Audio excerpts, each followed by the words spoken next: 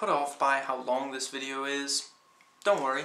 I tend to jam-pack my videos with as much content, as many details as I possibly can, and I try to talk pretty fast. So while the video is a bit on the long side, I don't repeat myself, and I get into a lot of details about the subject that, you know, pretty much anything that I feel I can comment on and that I think you might find interesting.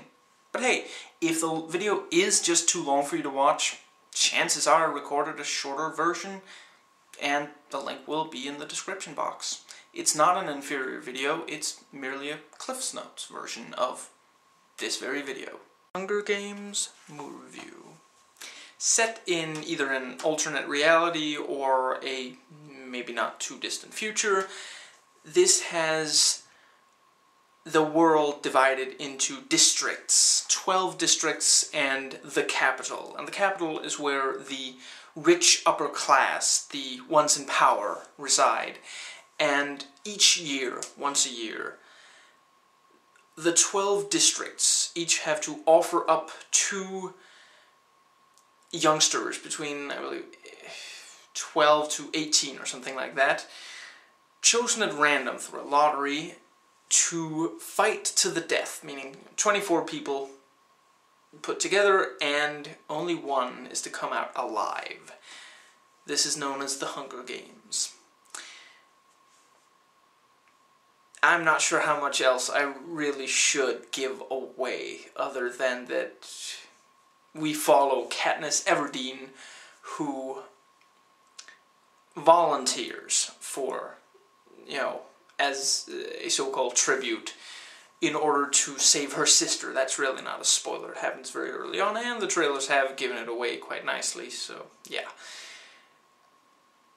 And, yeah. Now, I... this is one of those rare occasions where I can actually compare this to the source material. I did not read the book, but I did listen to the you know, audiobook version of it. And I did so quite recently, so it's mostly fresh in my mind. This is a great adaptation. It captures almost everything from the book. Obviously, some things have been excised. That is necessary. I, the audiobook reading I listened to lasted for nearly 11 hours. This movie is roughly 2 hours. Obviously stuff is gonna go. Now, there are as well some decisions, some, some changes made. Not all of them entirely necessary, I would say, and one of them does leave me a bit flabbergasted, but I don't know. Anyway, for most of them, they are wise changes. With something being adapted from, you know, book to film, you know, in a book you can have these long stretches of just description and just reflection on things. And this book is written in the first person, so everything is from Katniss's perspective. In a film, you know, basically either you, you know, broaden it out and maybe add, you know, give some of these reflections and explanations to other characters, or you have, you know, excuse me, inner monologues as, you know, you hear Katniss's, you know, thoughts. In this, they give them to other characters, and that tends to work out quite well. Now,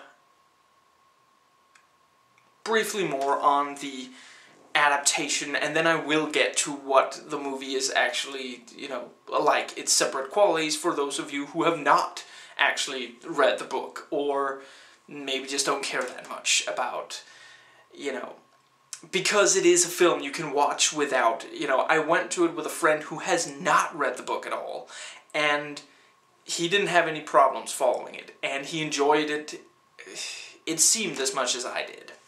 Now, the yes, the, the characters that, you know, th this is spoiler free for those who haven't read the book. But those who have, yeah, you'll get what I'm saying here. The characters come across as they should. You know, Cato is vicious. Caesar, you'll love him from the moment you see him. Cinna, you get this real sense of, you know, empathy and sort of, you know, and, and at the same time this sort of eccentric nature. A little bit. You know, actually the the Capitol people, their appearances with makeup, color choices, clothes, border on grotesque. You know, I overheard some people talking about it after we watched it. They were comparing the their appearances to something from, you know, the Alice in Wonderland movie, and I can sort of see it, especially like the Mad Hatter. I think that's maybe the what the yeah what their thoughts were led to, and I can see why.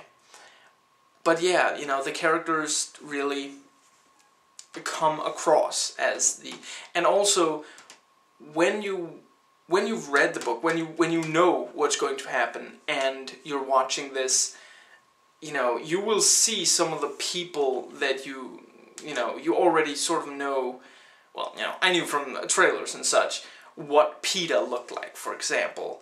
Now, someone watching this for the first time, they're not, you know, necessarily gonna know what's, yeah, but, you know, you, you sort of notice them, and with several of these, and so when they actually matter in the film, they didn't just come out of nowhere, you know, it's, they, they were already there, although you might not have noticed them if you weren't looking for them.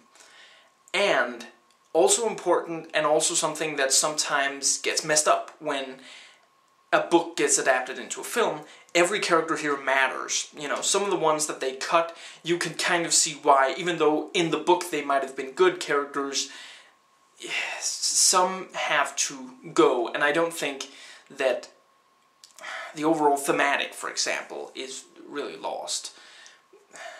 Yeah. Now, yeah, for, for those of you who are just complete purists about the book, I will start the spoiler-ridden video with, you know, stuff I can recollect from, you know, how it is in the film as to how it is in the book, and, you know, try to give you an indication of if it'll you know live up to your expectations because I can totally understand. You know, I realize that most people have huge expectations, especially those who read the book. Now, yeah, the the characters all have something to do and they actually matter. You know, no one is included from the book just because they were in the book and people expect them to also be in the movie even though they're significant impact was cut. Anyway, this is an again a great film.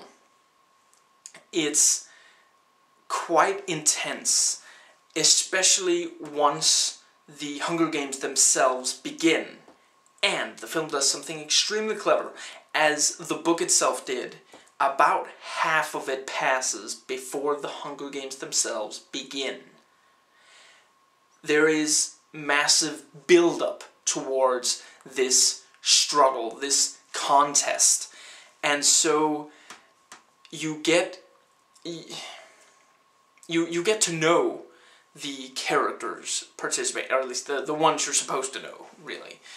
And you get you know, you get to like them, you get to care about what could happen to them. And it has a much greater impact when the fighting starts because you're really worried, you know. And just in the moments leading up to the Hunger Games beginning, massive build-up. Just, you know, incredible, and it really works. It's a very well filmed movie. It, you know, there are sequences that are incredibly effective and it yeah they're just they're directed exactly as they should be. I really don't want to give too much away, but there is this sequence where Katniss has to stand in front of an audience, and she is not used to all this attention, especially so much positive attention, and we truly feel her dread at having to face all these people and just how anxious she is about that. And it's done entirely through camera work, a little bit of editing, and just, yeah, it's excellent. Now, with that said about the camera work, I should maybe at this point add, I would classify this film as either a thriller drama or perhaps actually a drama thriller. An action film? Not that great of one, if, you know, if we're going by that. Which is not to say, and I think it's important to make that distinction, a thriller can be very exciting, but you maybe don't watch it so much for well choreographed action where you can really, you know, tell what's going on and you have this sort of mano a mano kind of fight. Thriller, as I see it, is more that our hero is being chased or out overpowered and they have to make it. You know, action, you can maybe more have, you know, equally matched opponents. Now, yes, this does have action, but it's filmed far too close and with far too much shaky cam. I can understand the appeal of shaky cam, and sometimes it's great. But what it's great for is making things disorienting. Saving Private Ryan, those battle scenes, you know, the the when they get to the shore and get off the boats and all that, that's supposed to be, you know, chaotic. Why? Because there's a million things going on at once. In this, we literally have shaky cam in a scene where two characters are you know, rolling around, you know, wrestling for control of the situation. That's not, you know, that chaotic and impossible of a situation to, you know, follow. It should be intense. It shouldn't be disorienting. Now, that is really one of the only negatives to say about this film. The editing is also great the film does a, you know, actually a few of the changes from the book, I think, make it better, or at least work better in the film. Work better in my opinion.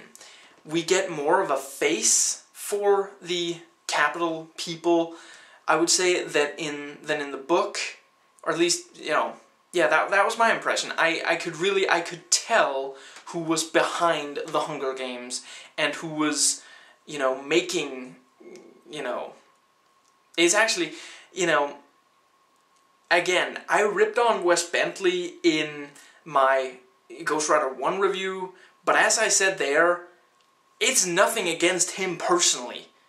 And in this, he proves why. He can really act. And in something like this, he really is imposing, and he really is an unpleasant kind of, you know, they, they do it right in this. They give him the right role, and he really delivers.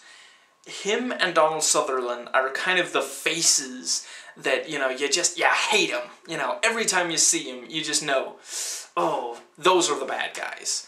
And that really works. You have a more sort of centralized villain kind of thing going on. And this also this cuts back, and this is this is a decision that I don't know if you know. You can argue if it was for the better or not. In the book, it very much stays in you know with the contest once it starts. In this, it cuts back to sort of the control room, and it cuts back to you know. In the book, Katniss imagines things you know, she she's like, ah, I, you know, probably this is because of this and this or right now I'm sure in this or that district this is going on. In the film we actually see that, you know, it's not that, you know, and yeah, that makes sense to do. Now, the the effects are great. It's, you know, it has a little bit of a futuristic thing going on, especially in the Capitol, of course, and what that really does, and does quite well, is create this dichotomy between the poorer districts. You know, Katniss is from District 12, the worst off district. So when she starts out, you know, she's literally, she's hunting to survive. And then a little later on, you know, when, when she gets to the Capitol, they're practically throwing food at her, you know, delicacies and just this, and it, yeah, you know, so you really see this sort of, yeah, huge contrast between the rich and the poor. The, the acting is phenomenal. You know, I, one could say that since Jennifer Lawrence is a young Mystique, one has to wonder why she keeps disguising herself as, you know, a young, independent, tough woman, but she's really good at it's it's a disguise she wears well, so I guess she should just stick with it. Seriously, big props to her acting chops. It I did not mean for that to rhyme. She is excellent. She you you really believe her.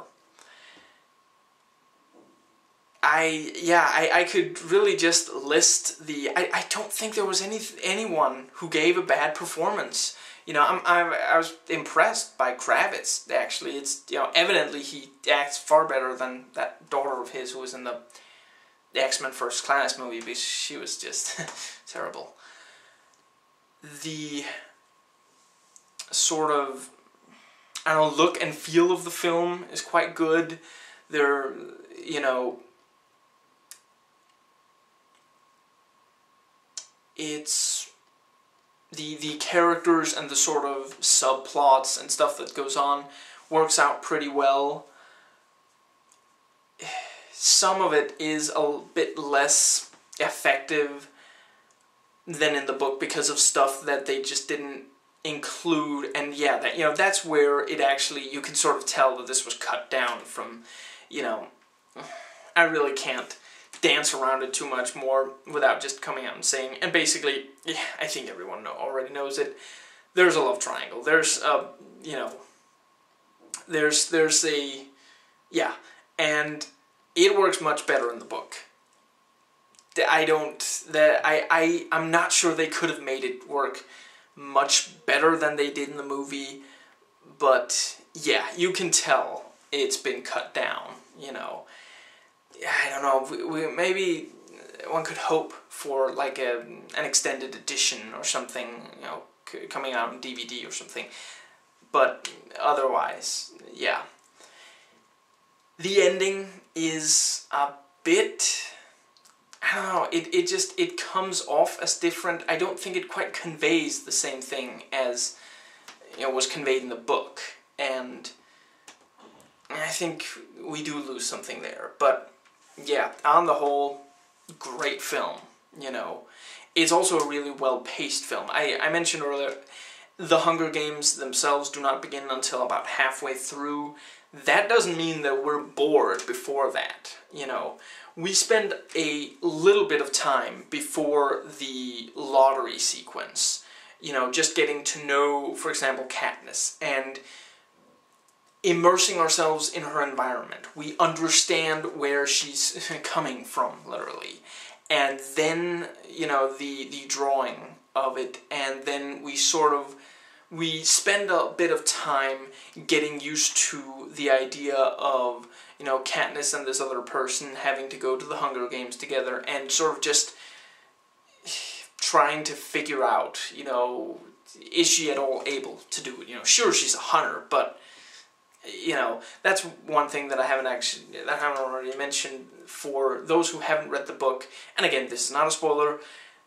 There are, you know, teenagers from the more well-off districts that are known as the the careers, the career tributes, and they train for the Hunger Games, and then they volunteer. So they're like they're there to kill. They're there to fight. They're there to win.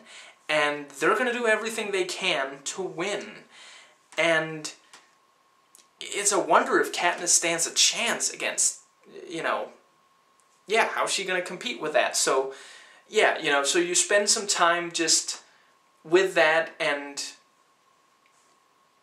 you know, yeah, stuff goes on before the Hunger Games begin, and this is crucial. This is never a boring film. You know, I knew everything that was going to happen, basically, you know, except for the fact that I hadn't actually seen it before, but it's an adaptation, and, you know, the audiobook was fresh in my mind, so there was not that much room for surprise other than how they adapted it and I was immersed from start to finish. And it wasn't just in a sort of, you know, I want to see how they do this kind of thing. I was genuinely getting into the story again. I'm not sure there's much else to say. Yeah, I think that is it. So, yeah, again, great film and definitely worth watching, and definitely worth watching in the theater, because there are some sequences that really do deserve, you know, big screen and surround sound. One final thing, actually. I believe this was rated PG-13. They did an excellent job of getting in as much blood and violence as they could with that rating. When I heard the book, already knowing that the film was PG-13, with some of the scenes, I was thinking, they're not going to do this in PG-13. They, they would need an R. They did great on actually making it, yeah, as, as bloody and as violent as it sort of could be and needed to be. You know, they, they chose the right moments for it to be bloody and violent please rate and comment, and hey, if you like this video, that subscribe button's just waiting for you to click it.